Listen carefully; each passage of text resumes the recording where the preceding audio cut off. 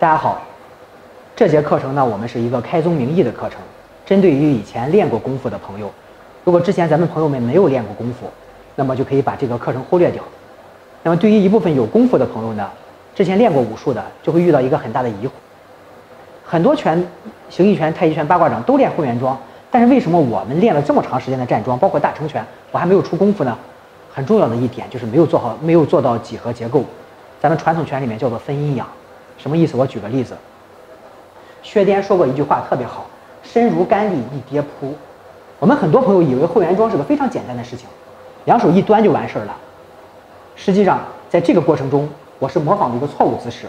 在这个过程中，从你的太阳穴到你的脚心画一条线，你的大部分的躯干是在这条直线上。但是呢，对抗的时候，对方一定会给你施加前后劲儿。一施加前后劲儿，你立刻像个杆子一样，立刻站不住，因为你本身就像个木棍儿一样。啊，所有的躯干都在这条线上，所以你不可能受到，不可能承受得住垂直于你这条线的力量。那么很多人说，那我混元桩就是这样平着站，我肯定受不了前后劲儿，这纯粹胡扯，这绝对胡扯。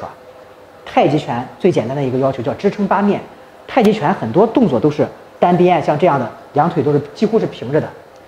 什么叫支撑八面？我不光是前后有劲儿，它肯定前后有劲儿，这个动作。人家沿这个方向给你使劲呢，沿这条直线给你使劲呢，一摁你就站不住吗？对不对？这不叫支撑八面。